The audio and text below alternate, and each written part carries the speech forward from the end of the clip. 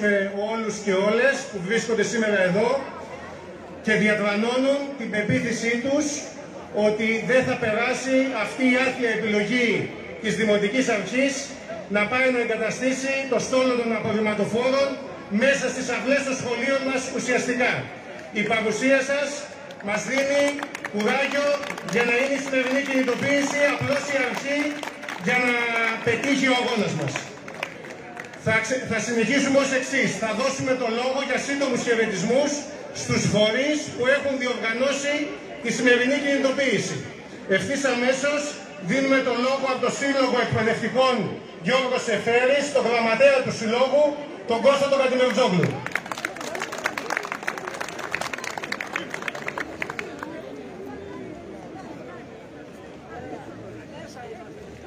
Καλημέρα σας. Ως εκπρόσωπος του Συλλόγου Εκπαιδευτικών της Πρωτοβάθμιας Εκπαίδευσης Γιώργος Εφέρης και ως δάσκαλος του 16ου Δημοτικού Σχολείου της Αλσούπολης σας μεταφέρω την οργή και την αγανάκτηση των συναδέλφων μου για τα σχέδια της Δημοτικής Αρχής της κυρίας Στομαίδου να μετατρέψει τον χώρο στο οικοδομικό τετράγωνο γάμα 572 που στεγαζόταν η πρώην Αλτέκ σε αμαξοστάσιο των απορριμματοφόρων του Δήμου.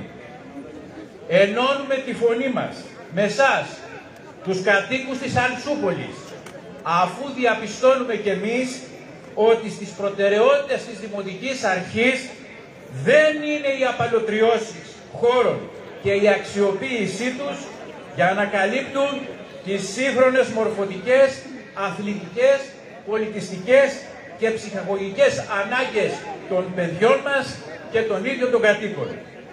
Όταν μάλιστα ο ένας μετά τον άλλον οι χώροι των παλιών εργοστασίων χάνονται εδώ και χρόνια οι οποίοι θα μπορούσαν να χαρακτηριστούν από τις δημοτικές αρχές για κοινή χρήση των δημοτών για την κατασκευή νέων σχολείων ως χώροι άθλησης και αναψυχής και να απαλωτριωθούν για αυτόν τον σκοπό και όχι να ξεφυτρώνουν στη θέση τους αλυσίδες μεγάλων επιχειρήσεων όπως το Περισσό και στα Πευκάκια.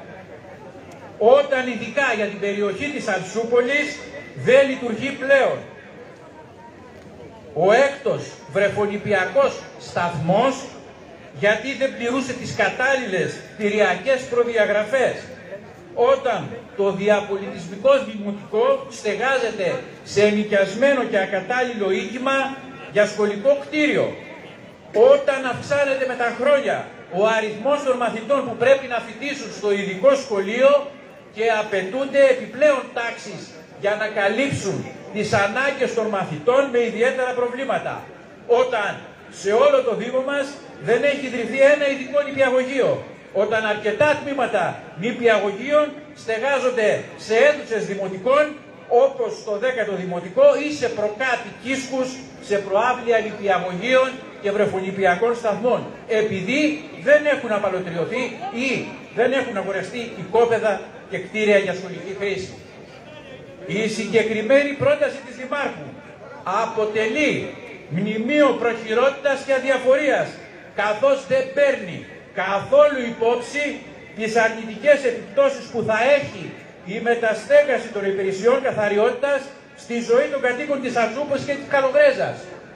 Όπως έχει και τώρα στους κατοίκους που κάθονται γύρω από το δημοτικό στάδιο και στους αθλητές οι οποίοι γυμνάζονται μέσα στο δημοτικό στάδιο και εκεί φιλοξενούνται τα απορριμματοφόρα ούτε πολύ περισσότερο ότι η περιοχή αποτελεί απαγορευμένη ζώνη για τέτοιου είδους δραστηριότητες αφού το οικόπεδο βρίσκεται ακριβώς δίπλα στα σχολικά συγκροτήματα του 16ου νηπιαγωγείου, του 16ου δημοτικού και του ειδικού σχολείου.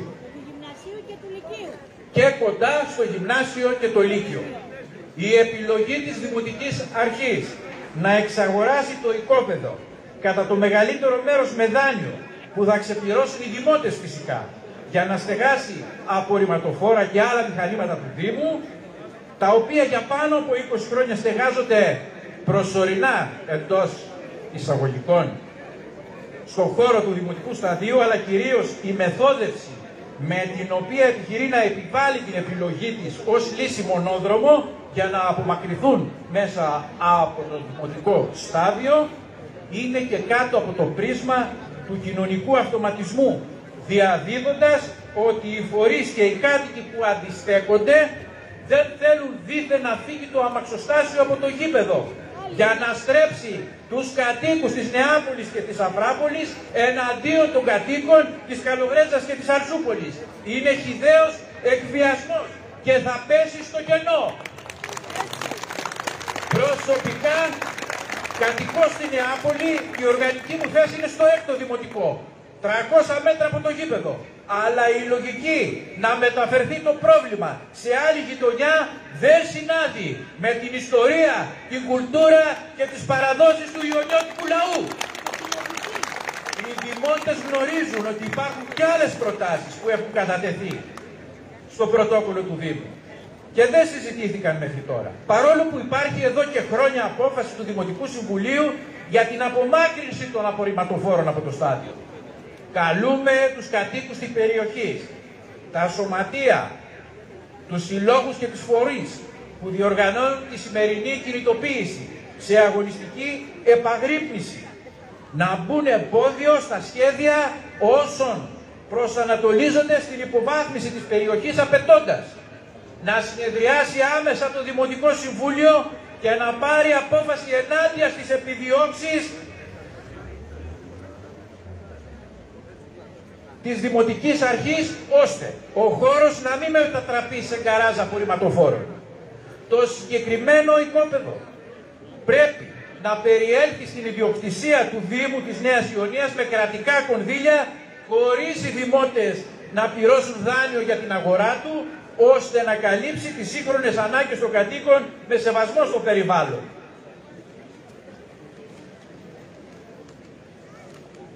Τρίτον, να ξεκινήσουν όλες οι διαδικασίες για την έφεση άλλων χώρων με σκοπό τη μετεγκατάσταση του γκαράζ από το δημοτικό στάδιο. Να συζητηθούν στο Δημοτικό Συμβούλιο όλες οι εναλλακτικές που έχουν κατατεθεί. Να γίνει μέσα στη εβδομάδα νέα κινητοποίηση στο κέντρο της Νέας Ιωνίας και πορεία στο Δημαρχείο και να ακολουθήσει συνάντηση εκπροσώπων των μαζικών φορέων που πήραμε την πρωτοβουλία για τη σημερινή συγκέντρωση και των κατοίκων της περιοχής με τη Δήμαρχο συζητώντας τα παραπάνω αιτήματά μας. Να είστε καλά.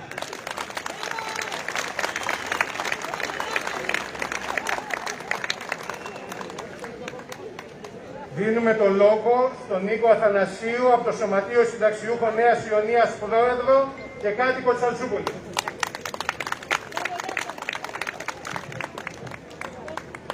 Καλημέρα σας.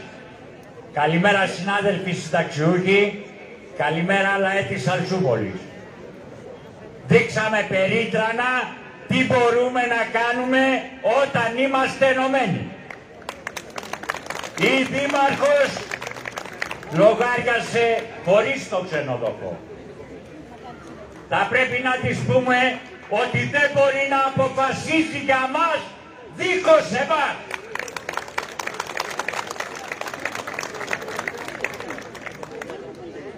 Είπε και ο συνάδελφος, ο δάσκαλος προηγουμένως, δεν θα επιτρέψουμε εμείς να έρθουν τα απορριμματοφόρα στη γειτονιά μας. Δεν θα τα επιτρέψουμε γιατί εκεί είναι σχολεία, είναι νηπιαγωγείο και είναι, ο κόσμος είναι κατοικημένη περιοχή. Δεν πρόκειται να τους επιτρέψουμε σε καμιά περίπτωση σε αυτό το οικόπεδο το οποίο είναι περίπου 5.000 μέτρα να κάνουν οτιδήποτε. Αντίθετα, εμείς έχουμε άλλη πρόταση και θέλω να δούμε αν συμφωνείτε κι εσείς. Η πρότασή μας είναι ο χώρος του οικοπαίδου να περιέλθει στην ιδιοκτησία του Δήμου χωρίς οικονομική επιβάρηση των δημοτών και να αξιοποιηθεί για τις μεγάλες ανάγκες της νεολαίας των παιδιών μας και των εγγονιών μας και του λαού της περιοχής για να δημιουργηθούν χώροι πράσινου, υποδομές αθλητισμού και πολιτισμού με ελεύθερη πρόσβαση για όλους. Η τακτική της Δημάρχου ακολουθεί τα παλιά χνάρια όλων αυτών των πολιτικάτιδων του διέρη και βασίλευε.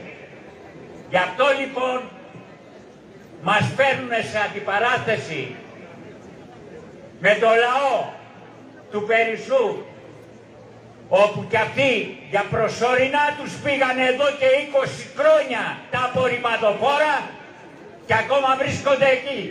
Όλες οι προηγούμενες δημοτικές αρχές τους λέγανε ότι θα φύγουν από εδώ τα απορριμματοφόρα και είναι προσωρινά. Το προσωρινό το δικό τους είναι για πάντα. Δεν θα τους αφήσουμε να πατήσουν εδώ. Και τις το λέμε υπέτεινα. Θα, θα συσπηρωθούμε ακόμα περισσότεροι. Όλος ο λαός της Αλτσούπολης και το, της Καλογρέζας το γνωρίζει. Θα κλιμακώσουμε τον αγώνα μας. Θα τα δώσουμε όλα. Δεν θα τους αφήσουμε σε κλωρό κλαρί. Όλοι ενωμένοι τηρούμε τη σύγκρουση μέχρι την τελική νίκη. Ευχαριστώ.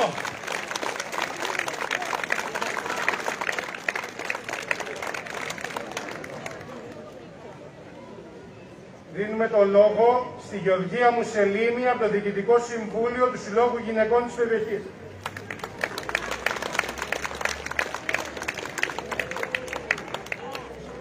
Καλησπέρα και από εμένα. Εκ μέρους του Συλλόγου Γυναικών της Νέας Ιωνίας χαιρετίζουμε τη σημερινή κινητοποίηση των σωματείων, των μαζικών φορέων και των κατοίκων της Αλσούπολης, όπου έδειξαν άμεσα τα ανακλαστικά και οργάνωσαν την απάντησή τους απέναντι σε μια καταστροφική για την περιοχή μας πρόταση που προωθεί η Δήμαρχος της Νέας Ιωνίας. Αυτή η πρόταση έρχεται να προσθεθεί στα ήδη πολλά προβλήματα της Αλσούπολης. Το 16ο Δημοτικό έγινε πισίνα μετά από μία μέρα βροχής και περιμέναμε να έμεινε κλειστό μέχρι να στεγνώσει από τον ήλιο. Οι δρόμοι κάθε φορά που βρέχει γίνονται ποτάμια όπου γίνονται επικίνδυνοι για τη μετακίνηση των κατοίκων και των παιδιών τους στα σχολεία. Και το πιο πρόσφατο είναι η κακοκαιρία με τα χιόνια, όπου παρέμειναν σχολεία και δρόμοι κλειστά για μέρες και άκρος επικίνδυνα, όχι μόνο από το χιόνι και τον πάγο, αλλά από πεσμένα κλαδιά και δέντρα. Και αξίζει να σημειωθεί ότι και το πάρκο του Πανετολίου μέχρι και χθες ήταν κλειστό γιατί δεν είχαν μαζέψει τα κλαδιά που είχαν πέσει δύο εβδομάδες πριν, που ήταν τα χιόνια. Ω κάτοικος της συγκεκριμένης γειτονιάς και νέα μητέρα, με ένα παιδάκι το οποίο θα περάσει από όλες τις σχολικές βαθμίδες και πιο ειδικά σε συγκεκριμένα σχολεία, όπου απέναντι θέλουν να εγκαταστήσουν το πάρκο των απορριμματοφόρων, έχω την υποχρέωση να διεκδικήσω ένα καλύτερο μέλλον για το παιδί μου, όπως όλοι οι γονείς. Ήδη λόγω της ανυπαρξία του βρεφονιδιακού σταθμού στην περιοχή, να θυμίσουμε ότι ο έκτος βρεφονιδιακός έκλεισε λόγω καταλληλότητας και δεν δημιουργήθηκε ποτέ νέος με την δικαιολογία ότι δεν υπάρχουν χρήματα στο Δήμο. Έχουν μείνει ε, πολλές δεκάδε οικογένειες εκτός δημοτικών παιδικών σταθμών. Βρέφονιδιακών. Το διαπολιτισμικό δημοτικό σχολείο στεχάζεται σε ακατάλληλο νοικιασμένο κτίριο. Τμήματα νηπιαγωγείων είναι σε προκάτ, συγχωνεύσεις τμήματων σε σχολεία εν μέσω πανδημίας. Αντί λοιπόν η Δημοτική Αρχή να λύσει τα ήδη υπάρχοντα προβλήματα, έρχεται να προσθέσει άλλο ένα στην περιοχή μας.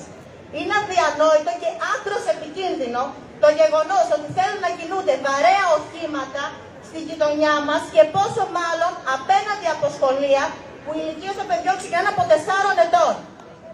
Είναι απαράδεκτο ότι η απόφαση αυτή έρχεται εν μέσω πανδημίας να επιβαρύνει σε απίστευτο βαθμό την υγιεινή της περιοχής, δημιουργώντας σε τραγικό βαθμό τον κίνδυνο μόνιμης αιστείας μόλυνσης. Σε ένα σημείο όπου ακριβώς απέναντι είναι ο προαύριος χώρος του νηπιαγωγείου και του ειδικού σχολείου, είναι πεζόδρομος όπου αξιοποιείται από τις οικογένειες της γειτονιάς για βόλτες και παιχνίδι με ποδήλατα τα παιδιά.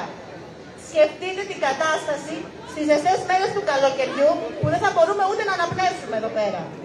Η πρόταση αυτή θέλει να μετατρέψει την περιοχή μας σε ένα τελείως ακατάλληλο και αφιλόξενο περιβάλλον για όλους μας. Η περιοχή εδώ σπίζει από ζωή με νέα ζευγάρια και πολλά παιδιά όλων των ηλικιών.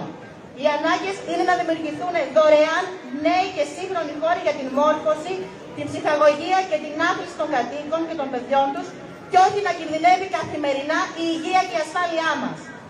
Όπως βρυχονιδιακή σταθμή, νηπιαγωγία, σχολεία, πάρκα και παιδικές χαρές με κατάλληλες εγκαταστάσεις για την ψυχαγωγία και την άθληση. Να πως πρέπει να αξιοποιηθεί το συγκεκριμένο οικόπεδο αναβαθμίζοντας την περιοχή και βελτιώντας τη ζωή όλων μας. Αυτή τη στιγμή είμαστε αναγκασμένοι να απευθυνόμαστε για όλα τα παραπάνω στον ιδιωτικό τομέα με αποτέλεσμα να επιβαρύνουν τα οικονομικά των οικογενειών και να προστίθονται στις, στα ήδη υπάρχοντα προβλήματα που έχουμε. Απίστευτα ποσοστά ανεργίας. Με, την ακρίβεια, με ακρίβεια σε όλα τα βασικά αγαθά, στα καύσιμα, στο ρεύμα. Με συνεχόμενες μειώσεις του, μισού, του μέσου μισθού, με ωράριο λάστιχο, αλλά και τα αυξημένα δημοτικά τέλη που είμαστε υποχρεωμένοι να πληρώνουμε χωρίς να καλύπτουν τις ανάγκες μας.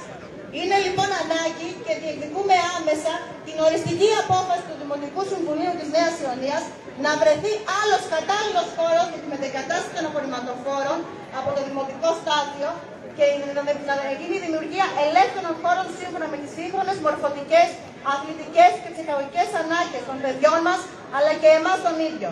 Και σε αυτό δεν θα κάνουμε ούτε βήμα πίσω.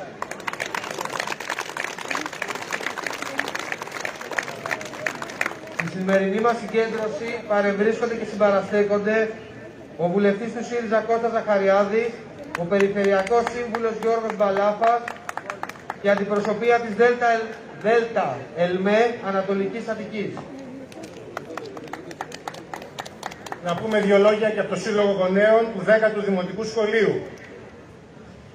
Το λέμε από την αρχή ξεκάθαρα, δεν θα περάσει αυτό το έσχος δεν θα επιτρέψουμε να υποβαθμιστεί κι άλλο η γειτονιά μας. Οι κάτοικοι της Αλτσούπολης έχουμε μνήμη και κρίση. Οι εργαζόμενοι που κατοικούμε χρόνια εδώ, οι συνταξιούχοι, οι νέοι, κάνουμε καθαρό. Δεν υπάρχει κανενός είδους συμβιβασμός γύρω από το θέμα. Το αίτημα προς τη Δημοτική Αρχή είναι σαφές. Πάρτε τώρα πίσω αυτή την απαράδεκτη επιλογή. Η οργή και η αγανάκτησή μας ξεχυλίζει και δεν πρόκειται να υποχωρήσουμε. Και πάση περιπτώσει υπάρχει και το εξής θέμα. Τα έχουμε όλα, να σου και τα απορρίμματα. Έχουμε την πανδημία με την 100 νεκρών, με την απαράδεκτη κατάσταση του συστήματος υγείας, με εμάς τους γονείς να κάνουμε τους γιατρούς τα παιδιά μας και όλους τους αρμόδιους να μας λένε πως εμείς είμαστε υπεύθυνοι για το τι θα γίνει. Έχουμε την ακρίβεια όπου ανοίγουμε λογαριασμό πλέον και παθαίνουμε συγκοπή, όπου βλέπουμε τα κοινόχρηστα και τα άλλα έξοδα και μετράμε τι θα κόψουμε. Την αγωνία μας για τη δουλειά, για τη μόρφωση των παιδιών μας, τα βάσανά μας, όπως κάθε λαϊκός άνθρωπος που δεν τα βρήκε έτοιμα. Και έχουμε και ένα ακόμη αντίπαλο, τη Δημοτική Αρχή που σε ένα χώρο που 20 και πλέον χρόνια διεκδικούμε να γίνει ανάπλαση, να γίνει χώρος αθλητισμού και πολιτισμού, να δοθεί δωρεάν στους κατοίκους της περιοχής, να γίνουν κινήσεις που θα συμβάλλουν ώστε τα παιδιά μας να μπορούν να παίξουν, να ευχαριστηθούν, να ψυχαγωγηθούν, να κοινωνικοποιηθούν, να διαπαιδαγωγηθούν. Αποφάσισε σε απόσταση αναπνοής από τα σχολεία να πάει και να εγκαταστήσει τα απορριμματοφόρα. Μα καλά, αυτό έλειπε από την περιοχή της Αλσούπολης και της Καλογρέσας. Η Δημοτική Αρχή δεν έχει ακούσει ότι όλη η περιοχή μας δεν έχει βρεφικό και παιδικό σταθμό και οι γονείς αναγκάζονται να πληρώνουν τερατιάτικα σε ιδιωτικούς σταθμούς ή να πηγαίνουν κάθε μέρα σε άλλες περιοχές. Δεν έχει ακούσει ότι εν μέσω πανδημίας συγχωνεύονται τάξεις στα σχολεία μας, εκδιώκονται εκπαιδευτικοί και η μόνιμη δικαιολογία μεταξύ άλλων απαράδεκτων είναι ότι δεν υπάρχουν χώροι για να ρεώσουν τα τμήματα. Η Δημοτική Αρχή δεν έχει ακούσει ότι σε όλη την περιοχή μας, σε όλη την Αλσούπολη και την Καλογρέζα δεν υπάρχει ούτε για δείγμα κάτι που να θυμίζει πρωτοβάθμια φροντίδα υγείας, αλλά αντίθετα ξεφυτρώνουν σαν τα μανιτάρια ιδιωτικά διαγνωστικά όπου θησαυρίζουν πάνω στην αγωνία μας. Αντί να ασχοληθεί με αυτά τα καυτά προβλήματα της περιοχής μας και πόσα άλλα μπορεί να σκεφτεί ο καθένας τα σκουπίδια βρήκε να μας φέρει. Το ξαναλέμε, δεν θα περάσει αυτή η ελεηνή επιδίωξη. Όλος ο λαός της Αλτσούπολης και της Καλομπρέζας είναι μια γροθιά και σήμερα είναι μόνο η αρχή. Αγαπητοί φίλοι και αγαπητές φίλες, πολλοί άνθρωποι, γείτονες που πάμε τα παιδιά μας στο σχολείο και γνωριζόμαστε τόσα χρόνια στη γειτονιά, μας λέγανε όταν προετοιμάζαμε τη σημερινή κινητοποίηση. Έχετε δίκιο. Η Δημοτική Αρχή είναι απαράδεκτη. Όμως θα τα καταφέρουμε; Αν είναι αποφασισμένα τα πράγματα, πώς θα τα ανακλέψουμε; Αγαπητοί φίλοι, χωρίς αγώνα και διεκδίκηση, οι άνθρωποι θα ήμασταν ακόμη στα σπήλαια. Τίποτα δεν μας έχει χαριστεί. Όλα τα έχουμε κατακτήσει. Ας μην πάμε πολύ μακριά. Ας θυμηθούν κυρίως οι πιο παλιοί της γειτονιάς. Θυμάστε που τα παιδιά από την Καλογκρέζα για γενιές υποχρεώνονται να περπατάνε 30 και 40 λεπτά για να έρθουν στο σχολείο εδώ, λες και είμαστε σε κανένα ορεινό χωριό. Θυμάστε πόσες κινητοποιήσεις είχαν γίνει για να φτιαχτεί τελικά το σχολείο στην Ανατόλια. Ας θυμηθούμε το κηπεδάκι εδώ πιο κάτω, πως έμεινε ανοιχτό. Ας θυμηθούμε ο χώρος που σήμερα βρισκόμαστε, το Πανετόλιο, από τι περιπέτειες έχει περάσει. Και μάλιστα μόλις πριν λίγο μάθαμε ότι υπάρχει επίσημη έκθεση που λέει πως το Πανετόλιο είναι επικίνδυνο για την υγεία και την ασφάλεια των παιδιών. Ας κοιτάξει αυτά η Δήμαρχος και ας αφήσει τα κόλπα με τα αποβηματοφόρα. Δεν χρειάζονται λοιπόν πολλά περισσότερα. Άβουλους και ειδοπαθείς μας θέλουν, όσοι πράγματι θέλουν να μην κουνιέται τίποτα. Όμως εδώ χτύπησαν λάθος πόρτα. Έχουμε ξεσηκωθεί και δεν θα υποχωρήσουμε αν δεν πάρθει μια σαφής απόφαση από το Δημοτικό Συμβούλιο, όπου η κάθε Δημοτική Παράταξη και ο κάθε Δημοτικός Σύμβουλος θα κριθεί από τις πράξεις του. Τώρα άμεση απόσυρση του απαράδεκτου σχεδίου. Ο χώρος να αποδοθεί στο λαό και την νεολαία της περιοχής. Να κόψουν το λαιμό τους. Να αξιοποιήσουν επιστημονικές τεχνικές μελέτες για να βρουν τον κατάλληλο χώρο και να μην βάζουν στον απλό λαό το δίλημα και να μην εκβιάζουν. Είμαστε ενωμένοι. Είναι φανερό πως οι εκπρόσωποι των φορέων που σήμερα οργανώσαμε την κινητοποίηση, όπως και άλλοι φορείς που πήραν απόφαση συμμετοχής, μπορούμε να συγκροτήσουμε συντονιστική επιτροπή για να οργανώσουμε καλύτερα τον αγώνα μας. Θα κάνουμε δηλαδή ό,τι χρειαστεί και συγκέντρωση στο Δημαρχείο θα κάνουμε και το χώρο θα τον περιφρουρήσουμε και συναυλία στον ίδιο χώρο θα κάνουμε και μπορούμε να τα καταφέρουμε. Δίνουμε το λόγο στον Κώστα Τούκα από το Συνδικάτο Οικοδόμων.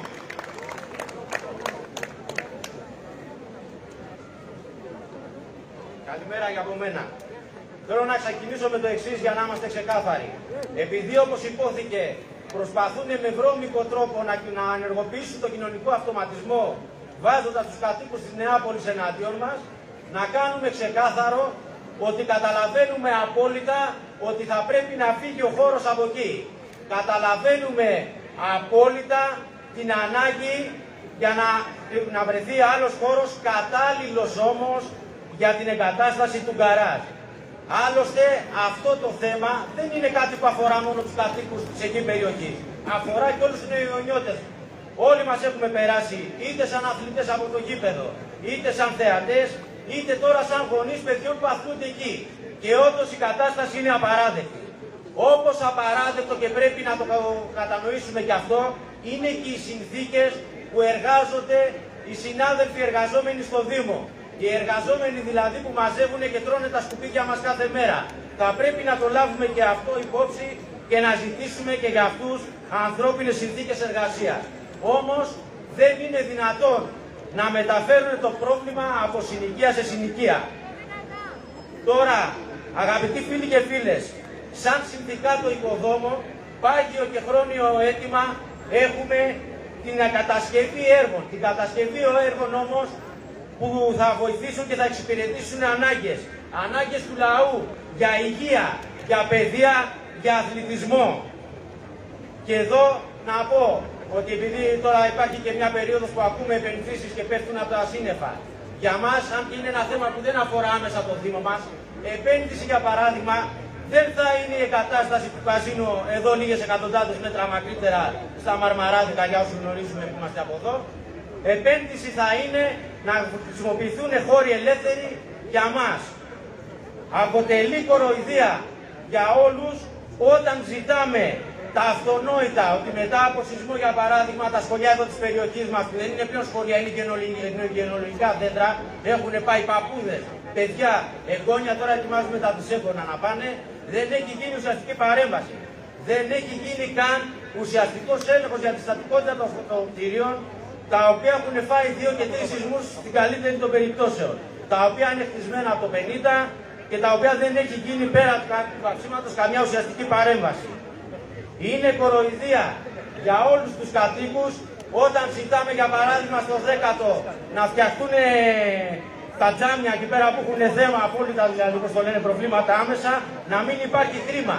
Να μην υπάρχει χρήμα για το να βρεθεί ε, νηπιαγωγείο για τα παιδάκια του Περισσού και να τα φέρουν σαν ε, μετανάστες να κάνουν 20 ώρα δρόμο σε κατάσταση του 10ου. Τα παιδάκια στο 16ο μετά από βροχή να θέλουν γόρδολες για να βγουν έξω.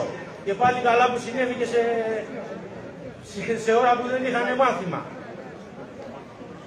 Για παρά... Ε, το μόνο που γίνεται από το Δήμο και εκεί που υπάρχουν υποτίθεται χρήματα είναι για κάτι ψευτοεπεμβάσεις. Αλλά και εκεί πέρα αυτές είναι τέτοιο.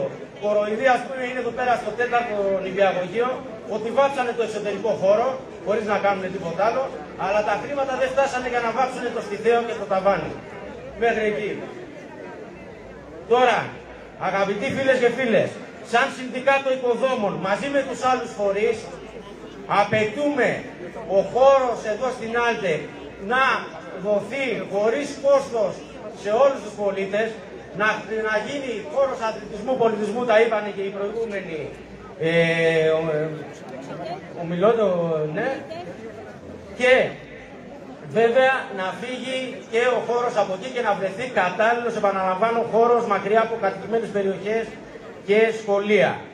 Και να πω και κάτι άλλο γιατί καλλιεργείται εκτός από τον κοινωνικό αυτοματισμό και η λογική της κατσίκας. Δηλαδή, επειδή δεν έχω κατσίκα εγώ, να πεθάνει και η κατσίκα του, του γείτονα. Προσπαθείτε βέβαια να γίνει αυτό, αν και θα πέσει στο κενό. Ότι παρουσιαζόμαστε σαν ε, προνομιούχοι που έχουμε και δύο χώρους ελεύθερους και δύο παιδικές χαρές κτλ. Εμείς θέλουμε και η πραγματική πρόοδος του λαού είναι η κάθε γειτονιά η κάθε συνοικία να έχει χώρους ελεύθερους, χώρους ε, για αθλητισμό ε, και σύγχρονα ε, σχολεία. Και γι' αυτό θα πρέπει να παλέψουμε και όπως είπε και ο Πέτρος, η γειτονιά μας, ο λαός της έχει πολύ καλή εμπειρία και από αγώνες και από διεκδικήσεις αλλά και από κατακτήσεις.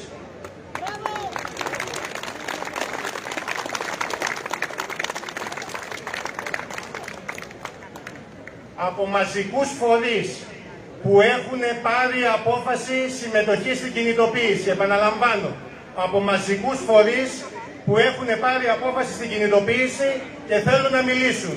Υπάρχει το ενδιαφέρον από κάποιον που θέλει να χαιρετήσει. Από κάποιον άλλον εννοώ που ήδη μίλησε. Από την τέταρτη Ελμαία Ανατολικής Αττικής. Ελάτε.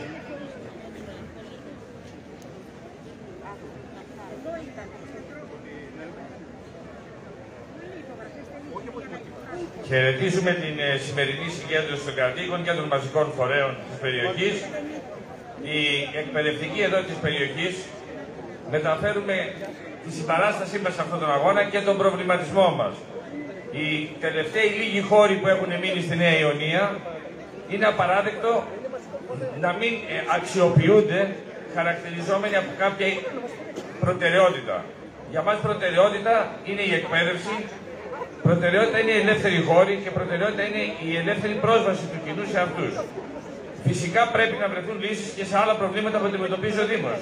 Και από ό,τι ακούμε κιόλας εδώ, υπάρχει πρόβλημα στο ότι και εκεί που βρίσκεται ο χώρος ε, των απορριμματοφόρων δημιουργεί προβλήματα. Άρα η λύση είναι να βρεθούν χώροι εκτός οικιστικού ιστού, χωρίς να γυτνιάζουν σχολεία, χωρίς να ε, κλέβουν αυτά τους τελευταίους λίγους χώρους που υπάρχουν θυμίζοντας ότι και οικοδομικά τετράγωνα μεγάλα που υπάρχουν εδώ στο Δήμο, το 455 νομίζω και το 150 που αξιοποιούνται με έναν τρόπο ο οποίος δεν φαίνεται να είναι σε άμεση ανάγκη με τα συμφέροντα εδώ των κατοίκων και των αναγκών του Δήμου της Νέας Ιωνίας.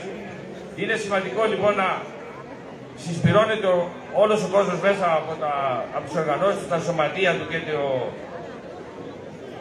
τις δημοτικές του ομάδες και κινήσεις και να προσπαθήσουμε να κρατήσουμε αυτούς τους χώρους σε χρήση ελεύθερη και να αξιοποιήσουμε και από την άποψη του να φτιαχτούν και οι σχολικές αίθουσες, να μεταφέρουμε εδώ ότι στα χρόνια της πανδημίας υπάρχει ένα αίτημα να μειωθεί ο αριθμός των μαθητών στην τάξη.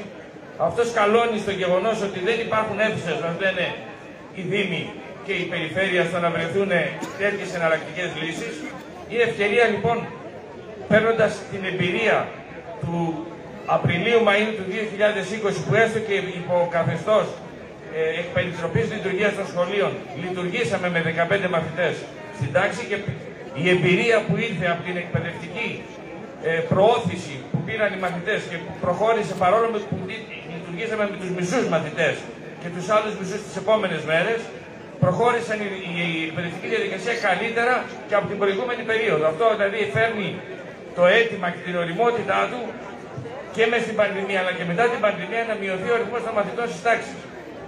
Κάτι που είναι κόντρα με αυτό που γίνεται με την προσπάθεια να αξιολογηθούν οι σχολικές αίθουσες και τα σχολεία ώστε να μπουν στα πολλά προβλήματα που αντιμετωπίζουν, να μπουν ιδιώτες για να δώσουν λύσεις που γνωρίζουμε ότι οι λύσεις αυτές δεν είναι ποτέ προ όφελο του κοινωνικού συνόλου.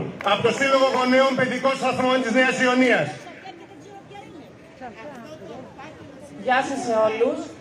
Ήθελα να σας πω, καταρχήν, μας σόκαρε σε πρώτη ε, φάση η απόφαση, η, απόφαση, οι, οι κινήσεις αυτές να μεταφερθεί εδώ ε, ο χώρος των απορριμματοφόρων. Και το λέμε γιατί όλη η Καλογρέζα και η Αλσούπολη δεν έχει έναν παιδικό σταθμό.